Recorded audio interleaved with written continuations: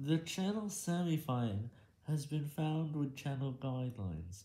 It is a new addition to our list of videos that we have found, and or channels that we have found with channel guidelines, but they're only available on mobile for some reason, and I can't view that the channel has channel guidelines on desktop.